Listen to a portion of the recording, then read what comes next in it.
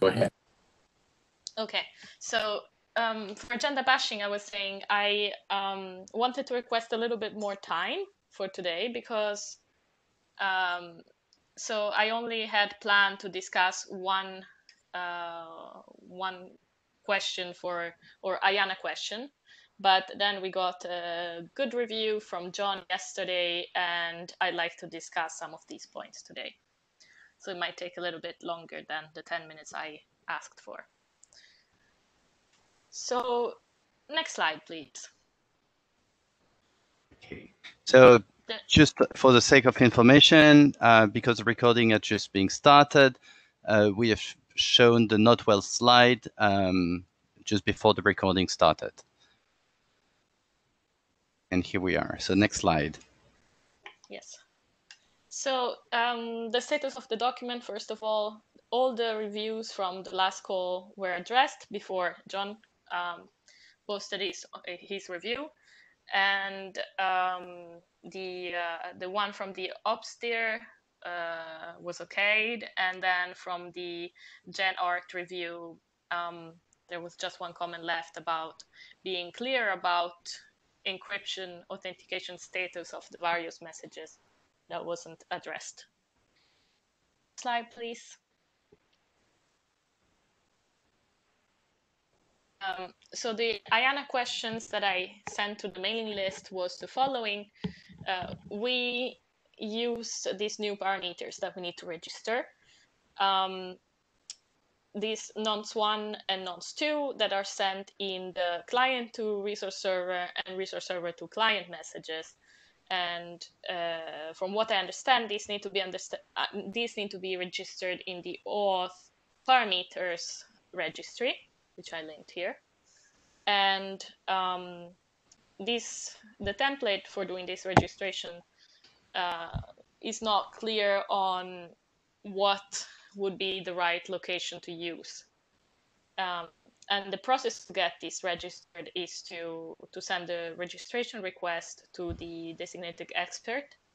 And in this case, it's Hannes, who is not on the call today. Um, and so since the template does not specify uh, a location for uh, this client to resource server, resource server to client messages, I think my proposal will be to come up with a good name for these two messages. And then I would send this to, to Hannes and, and let's see if he accepts it or um, if he complains. And I just want to mention for anybody who has not been participating in the discussion, the mailing list, that um, there are almost all parameters um, use the template locations, but there is a couple of, par of parameters that uh, use different names. So he might just go ahead and accept uh, and accept a different name than those in the template. I don't really know.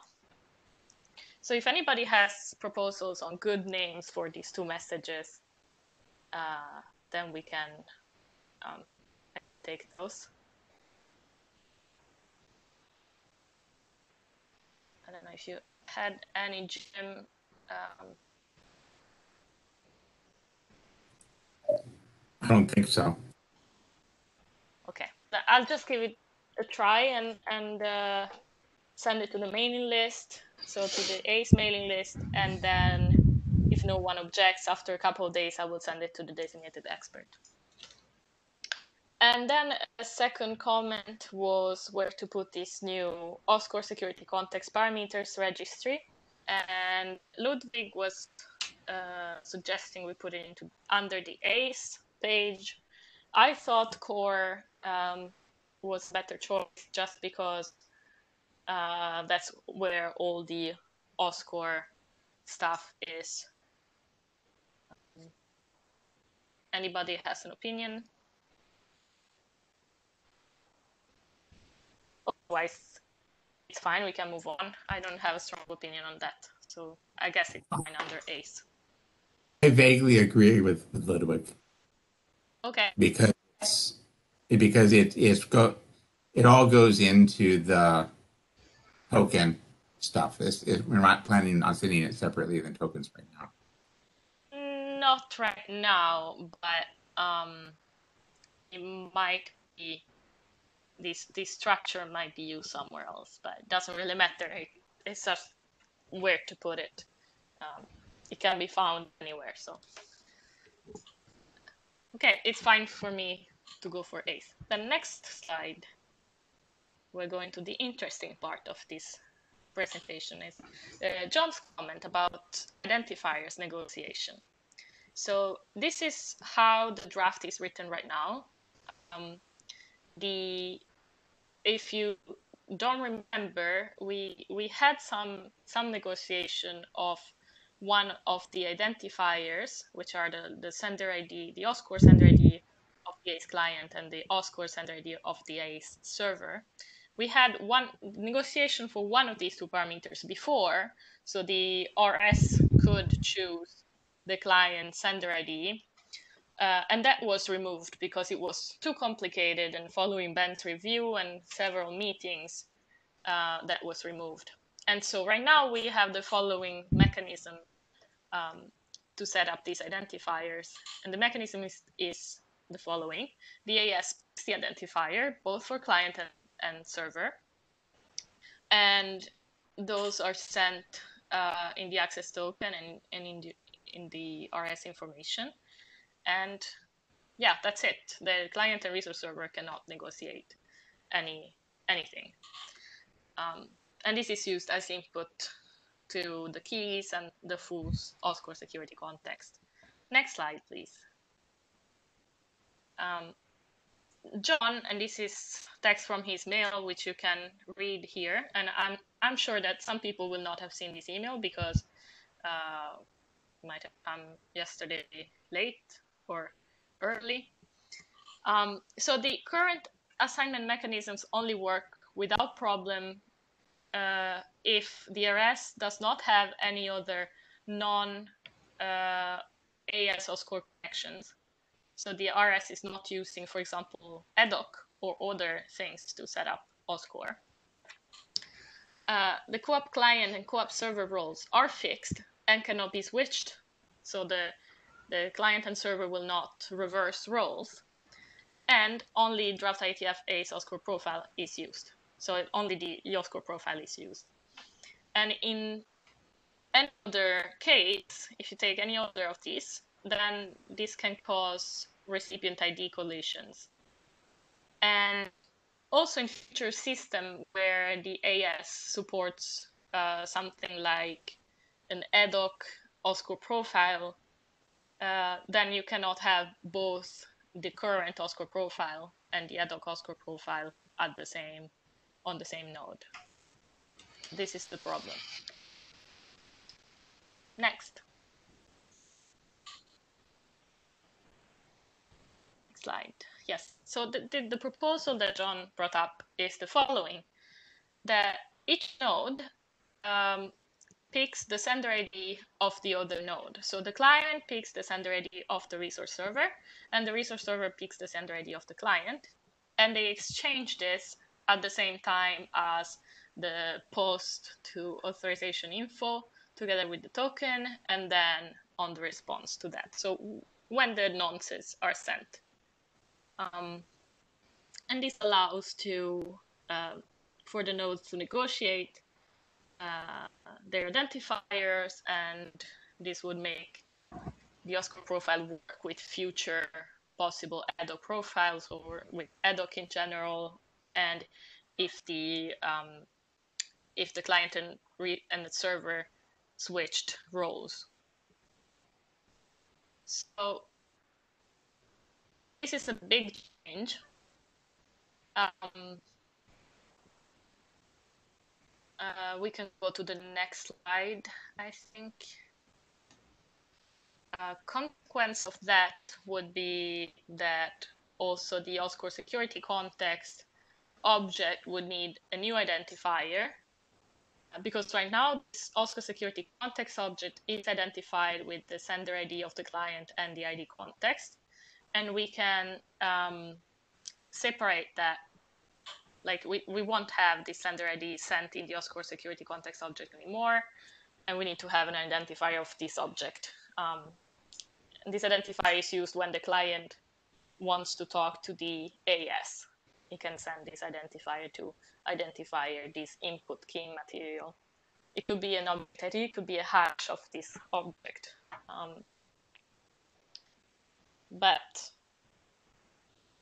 yes, so the question is, this is a big change. So if we wanted to go forward with this change, it would probably bring it back to the working group, I assume. Probably the chairs need to let know. But I, I personally think it's worth doing this change and uh, it seems quite straightforward to implement and I couldn't find any problem with uh, with it. Uh, two follow-up comments on your presentation, Francesca. Uh, the problems would be collisions or large messages. It's obvious if you have long random IDs, everything works without collisions, but then it's not efficient. Um, yes, thank you, John. And then I think a much better way of seeing it is that each node chooses its recipient ID rather than it chooses something for some other node. But it's the same. Yeah, but I just had sender ID because uh, in OSCORE terminology, that's what is, is sent, the sender ID of the node sending the message um, when it's the request. But yeah, it's the same thing. Uh, explain to me why you think there's a problem if we swap roles. Um, I think there's a problem if you swap roles and there is more than one RS. So you have two RS talking to the same client. If you then swap roles, uh, you might get collisions.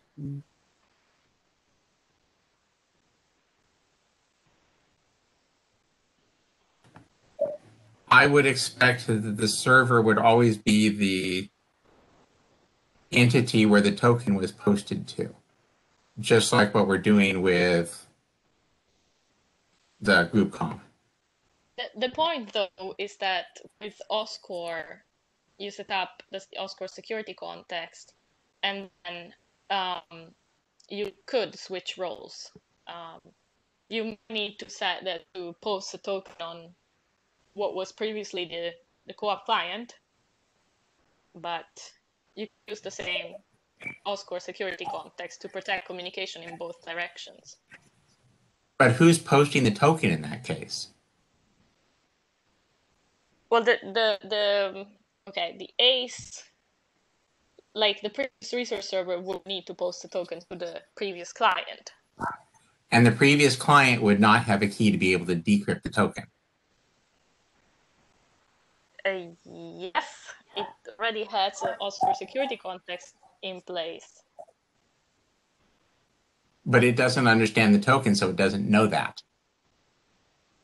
Yeah, that, I, th- I think it's a good point, Jim. That there, there is sort of a, there needs to be uh, sort of the reverse setup as well, uh, with where we have the two endpoints both need to be contacting the AS and requesting tokens and posting them to the to the, the other endpoint. Um, so, but but the result, uh, yeah. So, so yeah, it's a good question. Can we use the same OSCORE security context for both these? Um, perhaps not. Yeah. I, I I think the RS posting a token back to the client is a complicated case. I think a simpler thinking is that C has unprotected resources, so RS could send a request to C without any tokens. Um, Yeah, John, you mean like on? Uh, Still an OSCORE OSCORE um, protected communication, but without a need for um, access rights to be posted at at the previous CoAP client.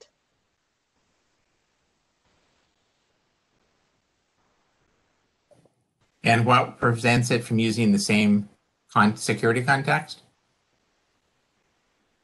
Nothing prevents it, but there might be collisions um, on the client or the previous client, the ACE client, uh, um, for that previous resource server identifier.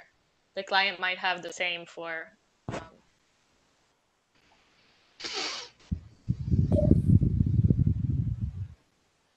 But I Okay, think I'm, to- I'm totally lost. If if that's true, then I would expect the client to have rejected the initial token because it had a conflict. we, we never say that you should reject a token based on whatever identifier for the resource server the token contains. Yeah. Jim, I suppose these could be two different, the RSs, the two different RSs could be with different ASs. They, so they could have the same.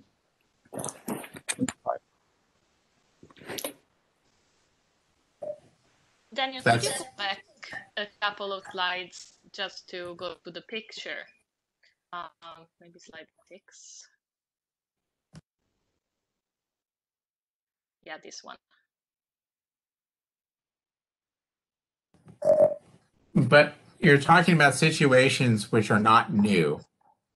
Um, we've we've discussed that as a problem for some time, and we have decided at the moment that we don't care about that problem. So now you're just suddenly bring, deciding you care about the problem. Um, what I didn't think about before is a node implementing uh, the OSCORE profile um, to talk to one resource server and implementing something like an EDHOC OSCORE profile to talk to another resource server. And how would yeah, how do these identifiers not collide without being huge identifiers?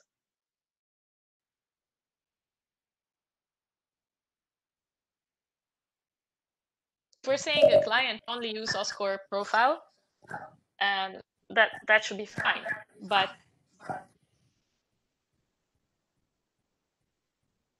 and this is not something that we can fix later on. So what you're talking about is a situation where I have set up an EDHOC. And now I come in and I get a, a- an AS token which has the same name because if if it if it's the other way around, there's not a problem because everybody can choose Yeah. their own identifiers. Yeah. Right now, I don't care. But the thing is, if we don't fix it now, we can't fix it later. Um, if you say, I don't care right now, we don't even have this EDHOC profile. Uh, if you want to set up OSCORE, that's what you you're, you're gonna use the OSCORE profile, and with the um, with the assumptions we have made in the document right now, it works. Yes, that's correct, but because EDHOC is now adopted and it's very much more likely that that the EDHOC profile will be coming soon, um, I am thinking we might want to fix this. And I understand the document is um, yeah, it's a bit of it's a bit uh, of a shame that it comes only now, but what can you do?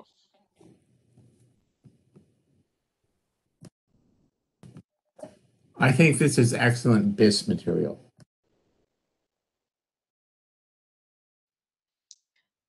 So what you're saying, we don't have a way to like version versioning the OSCORE profile, but what we can do later on would be to um, write uh, like a different OSCORE profile, call it something else, that would work with EDHOC.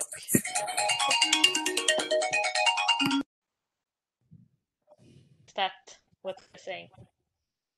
Oh, I don't know that it actually needs to be a separate profile. I mean, simply the existence of additional parameters in the registration message may be sufficient Mhm. Between the older and the newer version.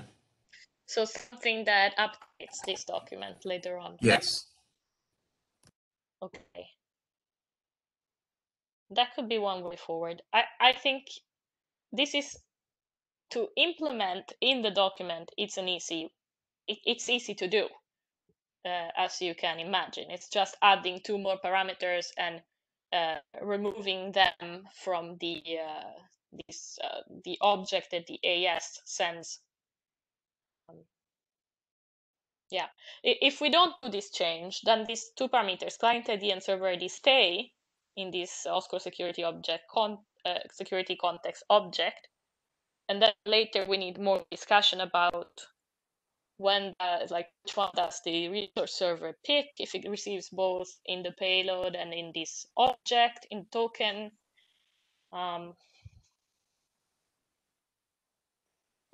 it becomes slightly more complicated. Okay, I I don't think I understand how that. uh, my feeling is that this cannot really be fixed with the. It can be fixed with the BIS later, but then any AS have to choose between the original version or the BIS. If you have both, you will still run into collision problems or uh, large IDs.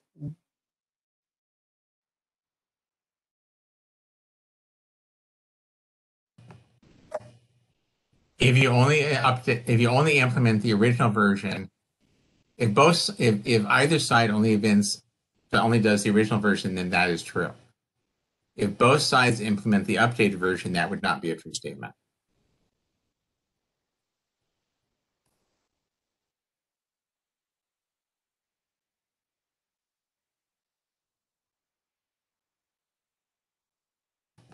But there might be a situation where there is a coexisting of old and new devices. Some have the old profile, and others have the new. But the new ones would still be able to deal with the old profile.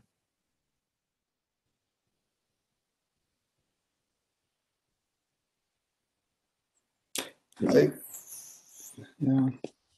I think you might still get collisions if the clients talk to several ASs, different ASs that implement different things, but and of course they switch roles and so on. It gets more and more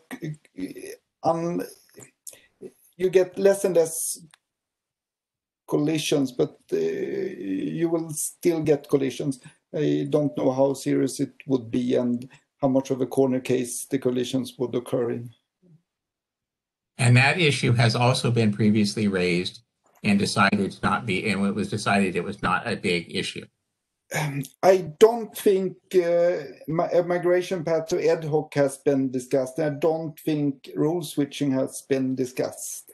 Well, I, I don't believe that role switching is a problem. So you're not going to convince me with that.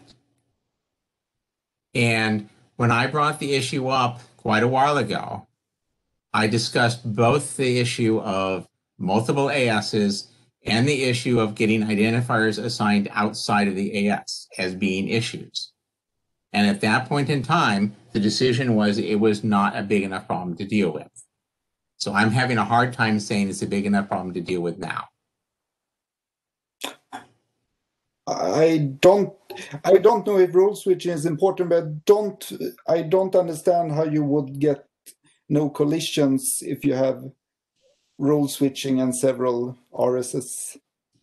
Um, Okay, I don't, I, I, I don't believe that your role switching is going to cause collisions, whether you have multiple RSs or not.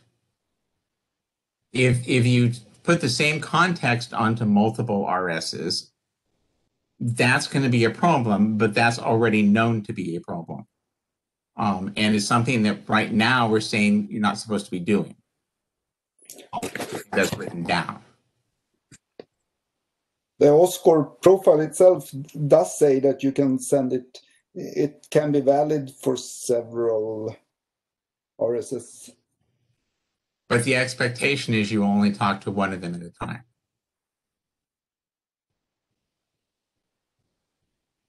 Otherwise, yes, you have a collision. Um, you also, if, if you put it on multiple RSs, you have a huge, even larger problem than that, which is you are going to reuse IVs. Uh, no, not at all. No. If, if, if, both of them have the exact same, if you post the exact same security context, the RS1 and RS2, they You negotiate same- N1 and 2. So security-wise, everything works perfectly uh, Uh, with posting it to any number of RSs, the same token. If, if that, okay. I mean, basically, if that's true, then, then, then you can, then either A, they're completely different security contexts and you can figure out which one it is by trial and error. Or B, they're going to be the same security context because you're using the same nonces and you've got a problem. Yeah, but then you have a bigger problem. I agree that you can do it by trial and error, but that's very ugly. Uh, but yes, you can.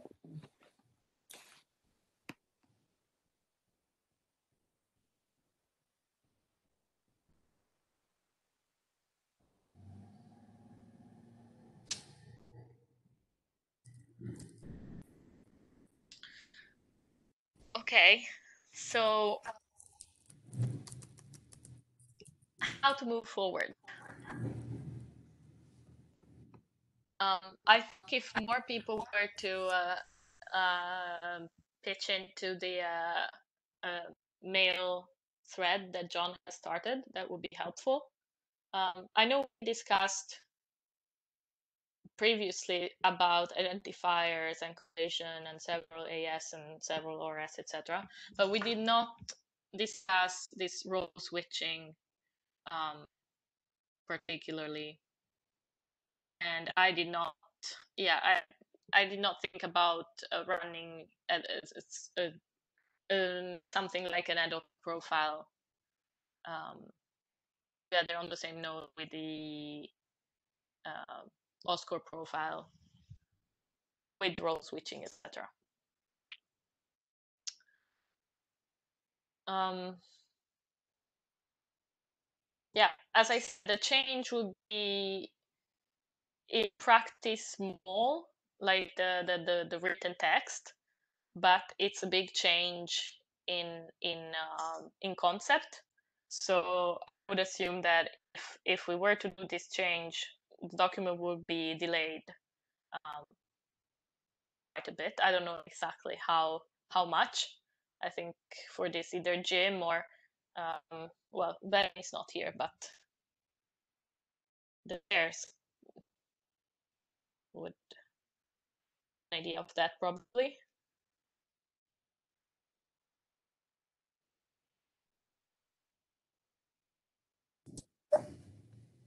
Personally, I'd have to stop and think about it because I'd want to know all of the po- possible security issues that show up, and I'm not too sure what they are at this point.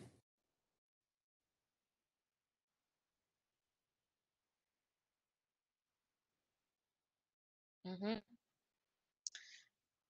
Okay, so it's not only like doing this text change and then run it through all the um, possible, mm, I don't know, working group last call, last call, whatever that that might mean.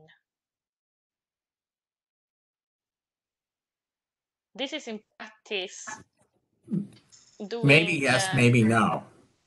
I mean, I'd have to actually have a much better idea of exactly what is changing and exactly what the implications are to make that call personally. Okay. So hopefully now you, you got the overview of, of what will be changing which is the AS would not be uh, picking out the identifiers for uh, sender ID for the client and the resource server, but this will be negotiated at the same time as the nonces are sent. Um, and I think John mentioned in his email that this will be done in the same way uh, DTLS, um, yeah, with connection ID and EDHOC do it. I think the negotiator mechanism in the EDHOC was initially suggested by Jim himself, um, referring to in a similar, uh, suggesting to do it in a similar way that I do it, if I remember correctly. Yeah. I, I think we never really thought about this type of negotiation of identifiers. The negotiation that we discussed and uh, shut down before was only about the clients identifier where the AS would assign a client identifier and then the resource server would say, no, I don't like this, take this instead.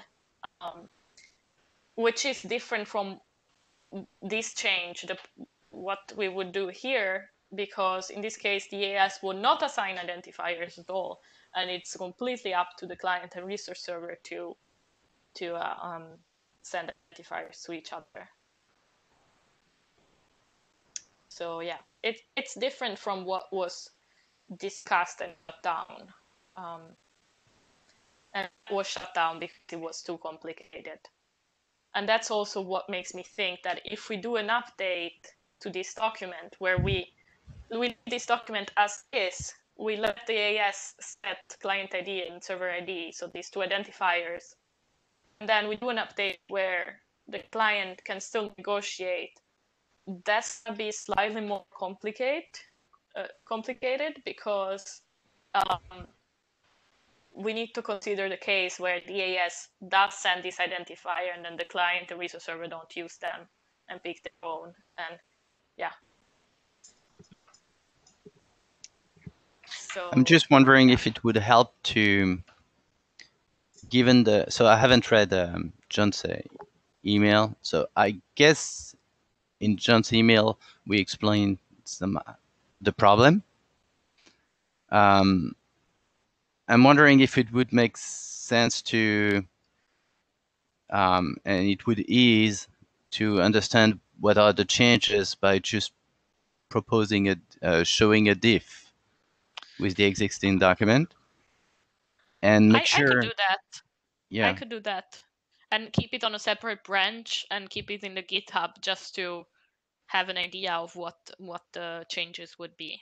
And that would also allow for people to reason over and to analyze and see like are we missing Yeah. big, big security And- considerations or analysis or anything else.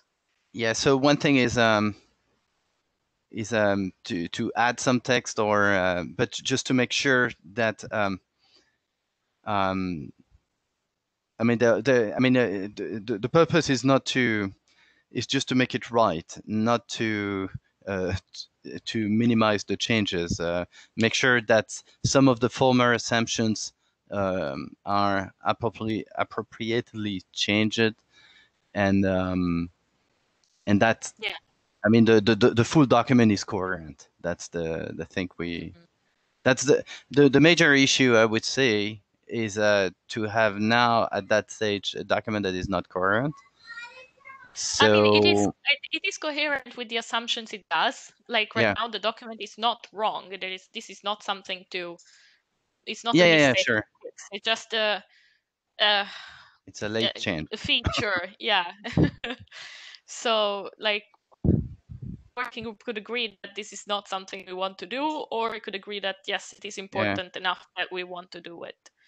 Um, so I think maybe this uh, But the discussion based on the diff might help. Yeah. yeah okay i can do that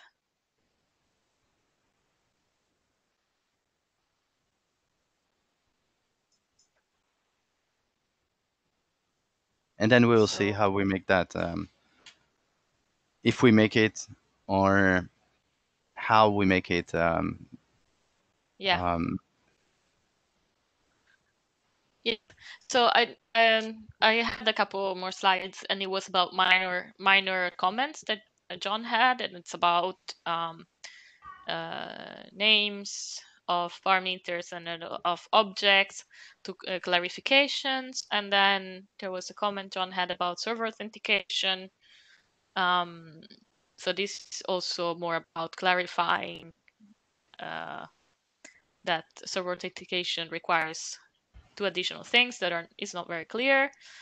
And then um, was a point about Appendix B2 and how can this Appendix B2 used after a OSCORE profile is used. But we don't need to take this now because we uh, spent a lot of time on on the other comments.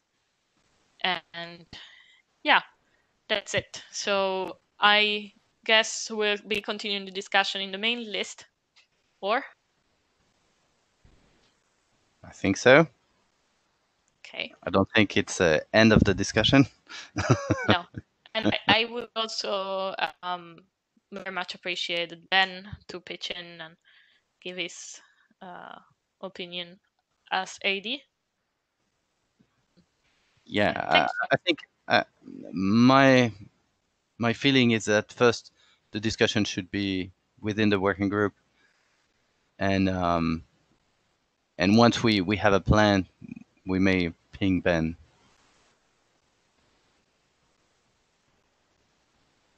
Sounds good. Okay, good. Any other comment? I'm hearing none. Jim, do you have any comment? Nothing that's not going to go on the mailing list. Okay. So I guess we can adjourn the meeting. Thank you very much for attending the meeting and see you on the mailing list. Review the MQTT pre-profile, please. Yeah. Yeah, it's in working group last call, so um, Yes. it would uh, be appreciated to go through through the document. Um,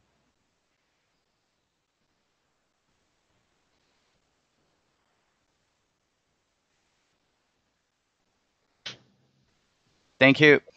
Bye bye. Thank you. Bye. Bye.